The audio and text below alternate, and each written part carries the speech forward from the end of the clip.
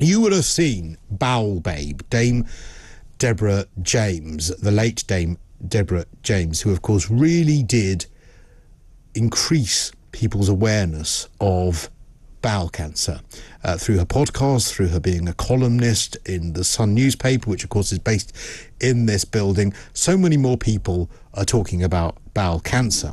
Well, it seems that there is now a clever new device that could change bowel cancer pathways in the UK forever, which will enhance early detection of the disease, therefore, actually not only saving money, but ultimately, hopefully, saving lives. Well, to tell us a little more about this, James Kinross is a consultant surgeon at the colorectal surgery at Imperial College London and joins us now. Uh, afternoon to you, James. Good afternoon. So, um, uh, pathways and and early detections. You know, uh, break this down for someone okay. who'll understand this. What has been discovered, and how is it going to make it easier to detect bowel cancer? Sure.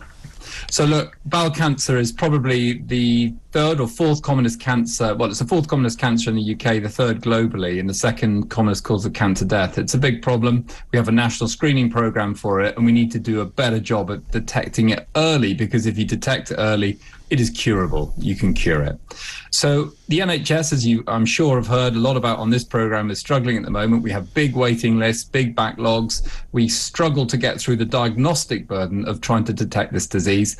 And what we're trying to do with this device is to make that easier and to try and take that diagnostic burden out of hospitals into the primary care, into the GP clinic, so that people can have tests faster uh, and they can get a diagnosis faster. And, and do you think that that's a part of I mean, there are many aspects of this, but do you think that's a part of what it is? That because people are a bit funny about talking about bowel cancer because, yeah. you know, it is about what comes out your bowel poo, yeah. ultimately.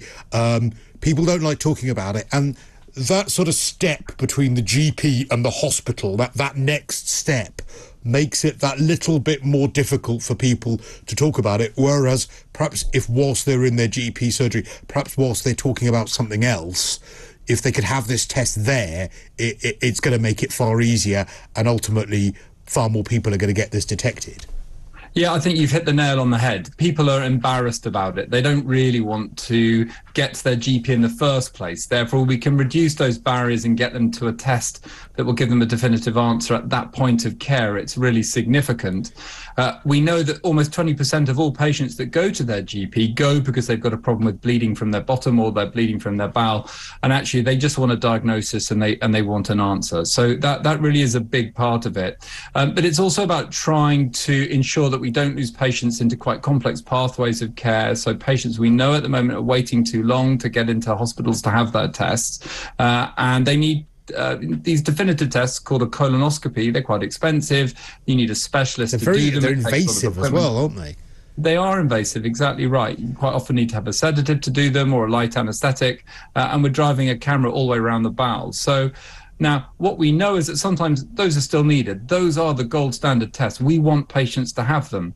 But what we want to make sure is the right patients are having them for the right reason. So the job of this technology that we've developed is that it selects out those patients that may not need that. So that it means that those patients that do need a colonoscopy are much more likely to get to get to that, that definitive test. And so again, what is this actual test? I mean, is it a, a blood sure. test? Is it what actually I'm at my GP, the GP says Actually, while mm. you're here, what it sounds like you've got is perhaps something that we need to test you for. What would I then have to go through?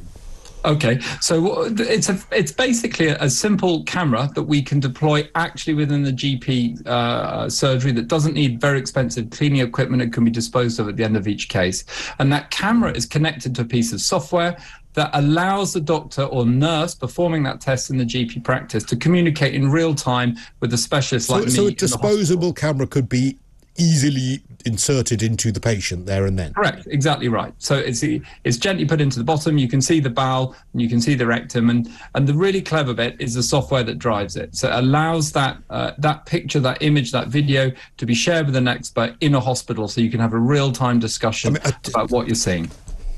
Do you know the problem with it? Well, it's not the problem because it, it sounds amazing, but when you say disposable camera, I mean, I really do consider, I really do think about one of those things you used to take on holiday. Yeah. yeah. I mean, that's invasive. Yeah. Okay. Yeah. Do you know what I mean? Yeah. But it's It's it- not it- a big Polaroid. No, I was going to So- say, you know. yeah. So so this is a tiny camera. Actually, the camera itself is is reusable. We obviously sustainability is a big problem. You know, we need to think about that. So they It's- can reuse the camera, but there is a means by which there is a part exactly of it that right. does So the that can plastic be bit is exactly right. You're spot on. Yeah. get it. All right. Um, well, this is good because how many people get affected by bowel cancer? Well, we probably get about 42,000 cases a year in the UK, um, and we probably have about 150,000 people maybe living with bowel cancer at the moment, and the and, and the you know the fallout from bowel cancer. It's incredibly common. It's a silent killer. Many people who have bowel cancer don't know they have symptoms, and about a quarter of these patients will present as an emergency with advanced disease. Uh, and you know we're trying to change that through uh, encouraging patients to see their GP to get a check if they have any concerns at all. And what are those symptoms? Just to remind uh, uh, people of those. Uh, brilliant question. So, if you're having a persistent change in your bowel habit, so you're having looser bowel motions, you're moving to constipation, and that lasts for more than six weeks, you really do need to get checked. If you're having bleeding, particularly altered blood that's mixed in with your bowel motions, again, you really do need to get checked. If you're having a persistent tummy pain, it's just not going away and you're worried about it, come and see me. Be delighted to look after you. And also, I think it's just really important to stress that um, that that your GP has seen it all, has seen and heard it all. Yes. So there really is no reason not to bring it up because you know there is no Yeah. reason to be embarrassed. The one place you shouldn't be embarrassed Correct. to talk about this stuff is in your GP surgery because believe me, they have seen it, they've heard it, they've done it, they know it. Oh, please don't be embarrassed. In fact, quite the opposite. We're really hoping you'll come and see us. So, uh, you know, it, it just get checked. It's always men, by the way. Uh, we're the worst. Men are always uh, in my clinic because their wives have made them go. So, uh, you know, particularly that group, come and see me. Yeah, we're very macho, but when it comes to things like that, we get very, Yeah. very scared, and we shouldn't be. Really good to talk to you. Um, that's uh, really good news, Dr. James, uh, Mr. James Kinross, I should say, uh, consultant surgeon at colorectal surgery at Imperial College London.